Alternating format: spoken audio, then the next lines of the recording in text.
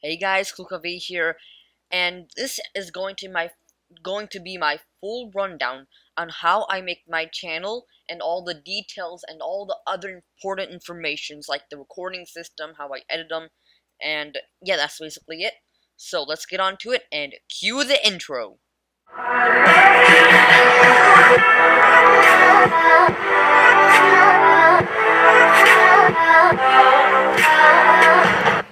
Hey guys, Kool Kavi here again, and so first, open up your favorite uh, browsing web uh browser thingy. Uh, might it be Internet Explorer, Safari, Microsoft Edge, or Chrome, or Firefox, or any of one of any one of those. So now what you gotta do is you go to Gmail. And you might see a black screen here except for the KoolKV. KV is coolgmail.com because the other two are my private emails. So let's add account. That is also going to be blacked out. So after I delete it's not going to be blacked out. So yeah. So on the bottom, it says create account. Click on create account. And yeah.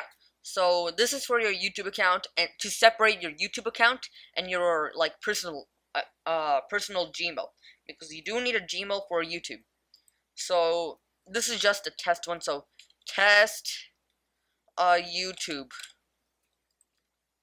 Uh, choose your username. Uh, let's just do this. That was from last time when I tried, but it was taken some reason. So yeah. So password. Uh.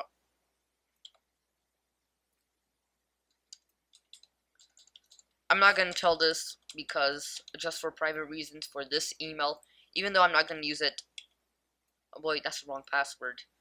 I don't know. Should I do it as usual? You know what? I'm just gonna do something different from every other one of my website, or every other one of my emails.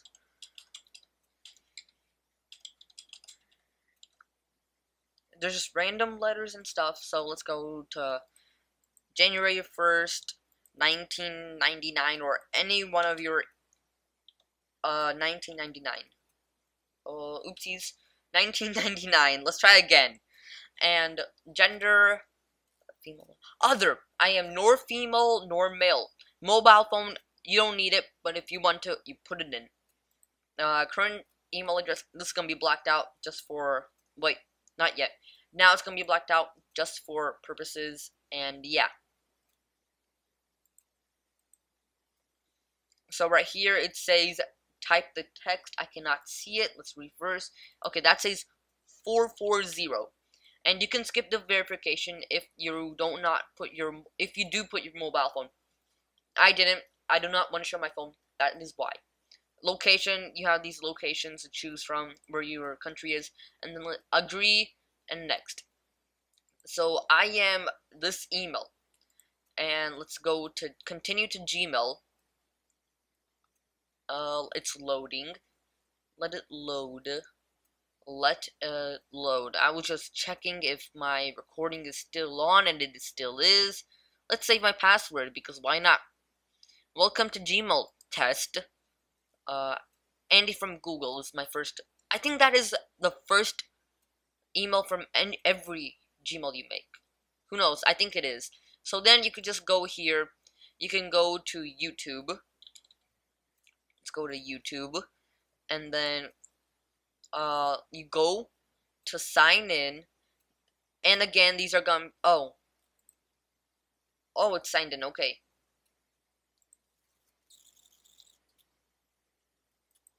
No, it's not signed in. Okay, so as again, all these are going to be blocked off except for KoolKV and Test YouTube. So let's go to Test YouTube. Aw, oh, jeez, what was my password? I'll be right back. Hey guys, I'm back, and I do, I looked at my footage on my keyboard camera and on my face, uh, just in case this would happen, and yeah, so my password was from the footage. Is that right? Is that right? Is that right? It was right! Yay! Okay! So, then you go to my channel, and it says this. So, you need to uh, clear out everything here and then in your first name a box, write the name of your YouTube account. So let's do big uh big um um ugly bunny ears. Forgive my spelling. Oh wait, bunny ears. okay, and then says create channel. Last name. Uh, let's do. Uh, so. Uh, test. I don't care. So. This is your YouTube account. And if you, if you do not want the test or whatever your second word is going to be, mine was cool Kavi, so I could just put cool in the first block, Kavi in the second. You can go here to settings, advanced settings, and change your name, edit. Scroll down, you can take it out. And press OK. Change name. And OK. So it's changed now. And now you can go to YouTube. You can go back to my channel and that's your name. So now what you gotta do is you gotta add channel art. So let's click on add channel art. And you click on how to create channel art. Because we don't know how to create a channel art, but I do, but you don't. So let's see. You scroll down, and so this is the page you come to. You scroll down until you see image guidelines for channel art. It says on the bottom, if you're not sure about the width and length, height of the image, download or channel art templates. So let's click on that and let it download. I will see you when this is, oh no, it is downloaded. Oh, it doesn't take that long, I suppose. So then drag it to your desktop. I do have WinRAR on my computer, so I have to double click and take the, take the highest, I think. I, I think it's this one, the picture one. It's a, there's a picture thingy. Yeah, Firework. It should say firework.png. And this one says Photoshop. You do the Firework one, you drag it to your desktop, and there it is. It should look like this. If it does not look like this, you had the wrong one. And choose another one. So let's X out. And then the two websites that I used every single time to make my thumbnails and to make my channel art I always use PicMonkey. And if I want some cool text, I go to cool text.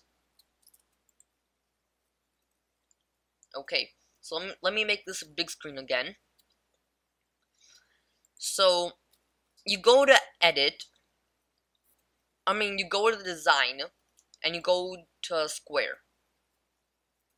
No, no, no, sorry, sorry, sorry. Let's go back. You go to edit and then you go to okay you can just go to edit then. And you go to the channel art template firework. Double click on it. This should pop up.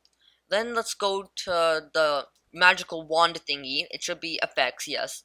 And scroll all the way down then scroll a little bit up it, you can see it says advanced and then artsy underneath artsy it says mirror draw click on draw after you click on draw make your brush size 600 or maximum, make sure this color is white, and then just make everything white. Just the whole thing, make it white. And then you can go to logo thingy, and which one do I want?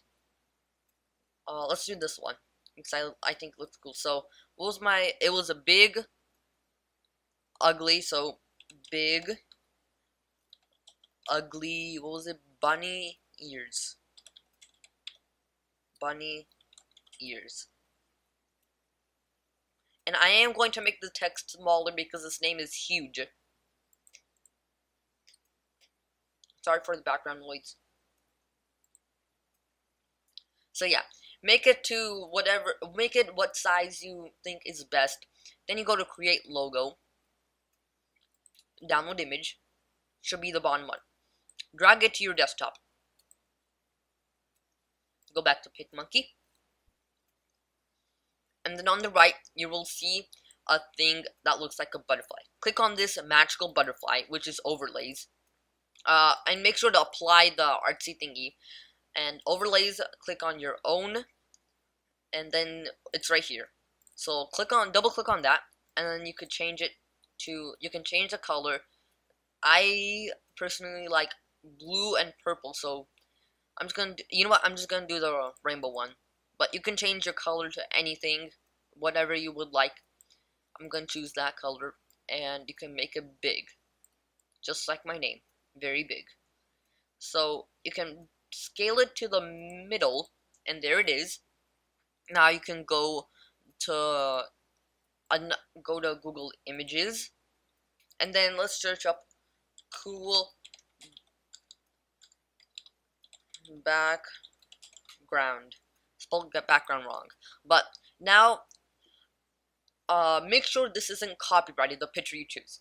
So, what I do to make sure always, always, always, what I do is I go to search tool, uh, usage rights, and then labeled for reuse. Because these you can reuse over and over again. It's not, it's not copyrighted. But some of the other ones, uh, like these, are copyrighted and are not copyrighted. If you want to know if you want to see, you just click on it and then go to their website and see if it's copyrighted or not. But for me, I am too lazy to do that, so I do labeled for reuse. Bring that page to the webs, uh, bring the picture to our desktop. Go to PicMonkey, and on the bottom you will see like this texture thingy. Click on your own. Open my texture. And where is it? It's right here. So it says that and let's open it. So this is my background. It can also add more pictures like Minecraft sword and label for you. Let's just choose this one. Uh, let's copy and replace. And let's go back to PicMonkey. Open, a, go to Butterfly because it's your overlay. Make sure to apply your background or texture. Click on your own overlay and click on that. So now, um, yeah, that's basically it. If you want this show up, so Control C, Control V, this is up, and then press Control X, or right click and delete overlay. So now this is on the top. I like this, it looks pretty cool. Yeah, it does. Now, you go to, you press on save then you go to the biggest if you want it to be like good quality you click on the SCAN or Sean or these are names but I Sean however it is it's higher resolution but it is also a large file. See this is 1.1 megabytes or MBs I don't know. If you go to Pierce it's 433 KB and if you go to Roger it's like one 332 KB so I would like to do the highest one because my computer is big I mean my computer is like strong and uh, has two, I think, I don't know how much uh, room, but a lot. File name, let's name it. Test or twist and masterpiece Sade. Go to here, select a photo from your computer, and twist. So this is how it looks like on desktop on the TV and on mobile. And you can adjust it however you'd like. And but I like it how it was, so yeah, that's basically it. You can auto enhance it, which I like to do because it looks a little bit better like that. And then you can go to save, where's save? I mean select. So now it's saving and it's saved. So this is your name. Now you want to change your channel icon how to do that is you go here or any other thing and then you have to let's go back to PicMonkey so I have saved this so I can leave. You go to design and when you just click on design it should be a square as always. But if it's not you can go to crop and you can make it a square. So that's basically it. I'm gonna change my canvas color to transparent and then I'm gonna go here and search up anything like of my anything that I want to be my icon right here. So since I'm a big ugly bunny here, I'm gonna do bunny ears. Bunny ears. So this is uh this is gonna be my thingy my icon, let's go to PicMonkey, No, no, let's not go to PicMonkey. If you want to be like more designed, like how I did mine, mine's like a K and another K with a bunch of colors. You can go to text. I'm not text. You can go to canvas color. Not to canvas color. Where was it? Let's just apply. Uh, yeah, you can go to the butterfly, not butterfly, you can go to the magical wand. Sorry, sorry, I, this has been so long for me. You can go to the magical wand, and then you can go to artsy and draw, and then when you click on draw, I just did this random stuff. I chose random colors, and I just drew like that. To make my thingy, with a K and a K in the middle, generated from a cool text, and my two things I used, my, uh, icon was club, and my what is this? Channel art was gunmetal. I think. And yeah. So that's how you make your channel art and icon. I do not need these pages anymore, so I'm gonna X out. I'm going to go here, press edit, and no, not this one. Oopsies. I did not mean for, oh, looks pretty good. You can keep this like this, like your other thing, but I'm a big bunny ear. So upload photo. Where is it? Where's my bunny ears? Right here. And this is how people will look at me. This is my channel icon. Press done. And yep, that's my channel icon. Let's X out. Let's refresh this page. Again. Did I forget to save? I think I forgot to save. Let's go back to edit. Uh, press done. Oh, I think we have to refresh like this. No.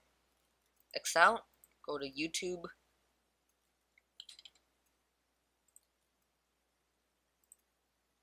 What am I doing wrong? This shouldn't happen. Okay, but this is how it's supposed to happen. And let's try it again.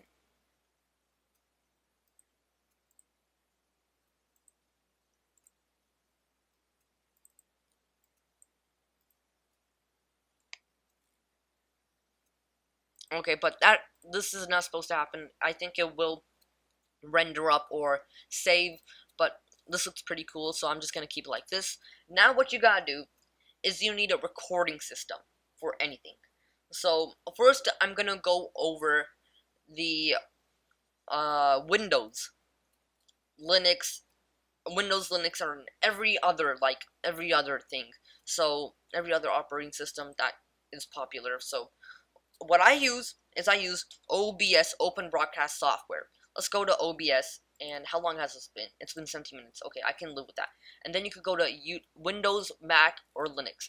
I don't prefer Mac because it does use 21 CPU usage. It does use your CPU for uh, downloading, I mean, recording the videos, and I don't think that's a good thing.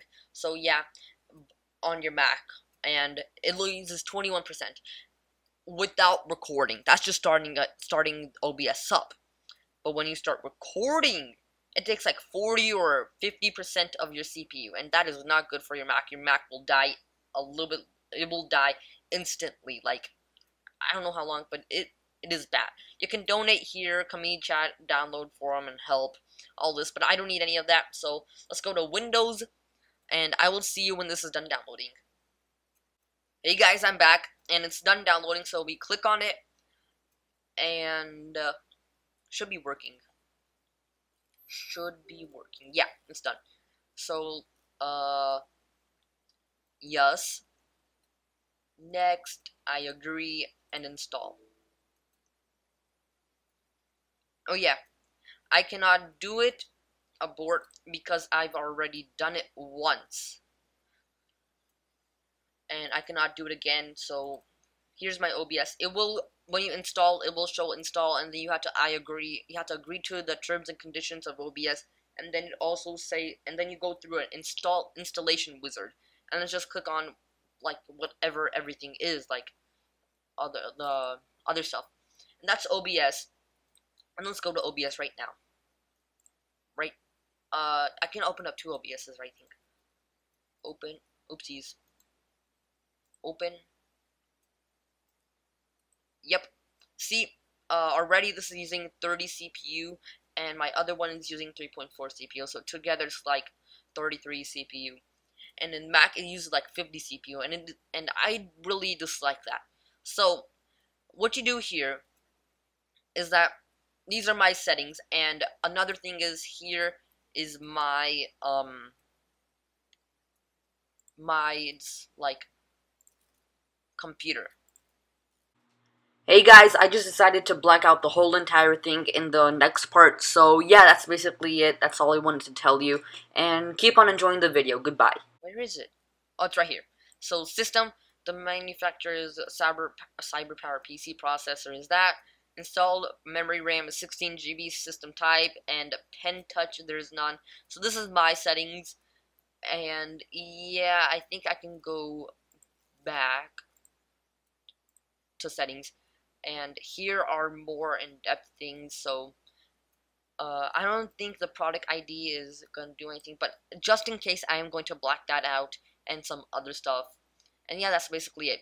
If I black if I happen to black out the whole entire screen then I will show it in the like description below or on the screen here somewhere. So yeah let's X out. So let's go to settings right here. And I like it on uh, dark theme and there is a language. You can choose your language. I am English so I choose English. And these are my uh, things my settings I prefer prefer on general. Stream these this is my stream key. Never tell your stream key to anyone because they can stream without you knowing. And so this is my you don't need you need you don't need to know much about this. So yeah output advanced and let's go to recording so when you're recording, your type is standard, your recording path is list. So what I did is I made, oh my gosh, this is awesome. See right where my mouse is, right here in the uh, OBS, OBS. You can see OBS inside of OBS, inside of OBS, inside of OBS. That, that is awesome. If anyone can zoom in into... If anyone can zoom in into that, then that will be awesome and yeah. So what I did is that I made a new folder on your thingy and yeah. So that's basically it. And then I get I went to browse and then I chose my desktop and I chose my thing that I wanted. So yeah. So encoder you use stream encoder and not 264 because that uses more CPU. Recording format is MP4 audio track. I have one audio thingy, so yeah. And that's basically it. Let's go to audio. Audio bitrate. Put everything on max because audio bitrate won't do anything. It's just gonna increase your volume. Like right here, this is how loud I am speaking right now currently. And in streaming, put encoder for time 64 because you'll be recording and streaming, so you will be needing more CPU, or else your stream will be in poor quality. So then, uh, you can rescale output. This is my, like, normal output thingy. Rate control, CBR, bitrate. I put mine 45,000 because I have a beefy computer or desktop. Very fast.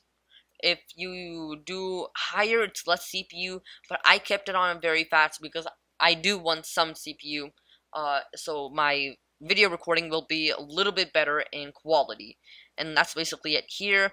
Audio, put it on 48 uh, or KHZs I have one speaker, uh, and these are the other things, but I do not worry about them because I only have one speaker. The video, this is my video, I can this put your frame rates on max if you have a beefy computer. If you don't, put it on 30. Because these are just, these don't make a difference. 40 and 50, 48 does, but 59 doesn't, and 20 does, and 29 doesn't. Just 10, 20, 30, 48, 60. Those are the two, those are the four main ones that make difference. These are hotkeys, so stop and start recording for me are F10 and that, but I use nothing else.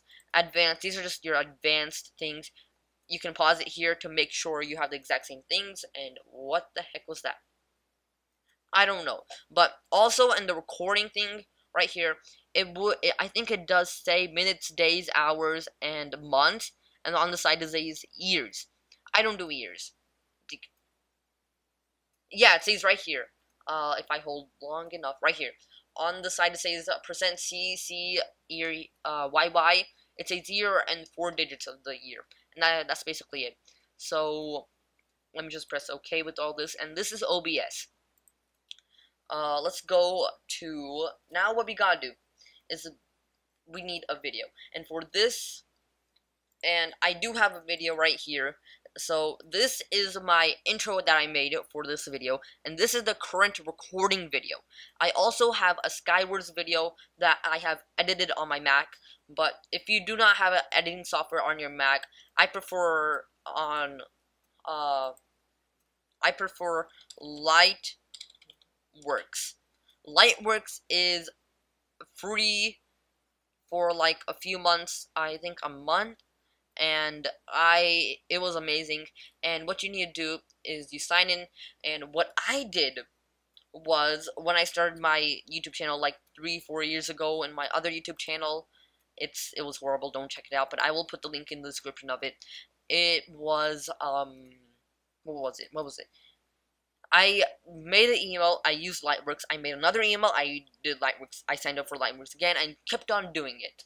So I basically had free Lightworks, but I did not have like the pro, anything like the pro version of anything. So that's basically it. Right now I'm doing it with Camtasia Studio 8, but I don't think I don't think it's working with Camtasia Studio 8. But I believe there are some like hacks, but do not search for hacks. They are bad. They, hacking is bad, and I believe that they will shut down your YouTube channel if they you do hack. But do not hack. Trust me, it is bad. And yeah, that's basically it. Now, I need to... Now, this is how you edit your stuff from uh, Lightworks and Camtasia. That's this is what I'm using right now for the past month. It hasn't been a month yet, so yeah, that's basically it. So, for you Mac users, let's get on to Mac. Wait, no, no, no. Before we get on to Mac, uh, sorry for the low volume, and I have no idea where I put it. So I do have a flash drive, and I usually do edit on iMovie if it's 15 minutes or less because it loads faster on iMovie. If it's 15 minutes or more, then I use Camtasia. But what I do is I put a flash drive into my computer, plug it in, and I drag this into the flash drive. I let it load. When it's done loading, I take the flash drive out, I plug it into my Mac, and then I put it on my desktop and then edit on iMovie. So let's see an edit thing that I recently did on my Mac. But before we do that, you need to know how I record on my Mac, and I'll be right back.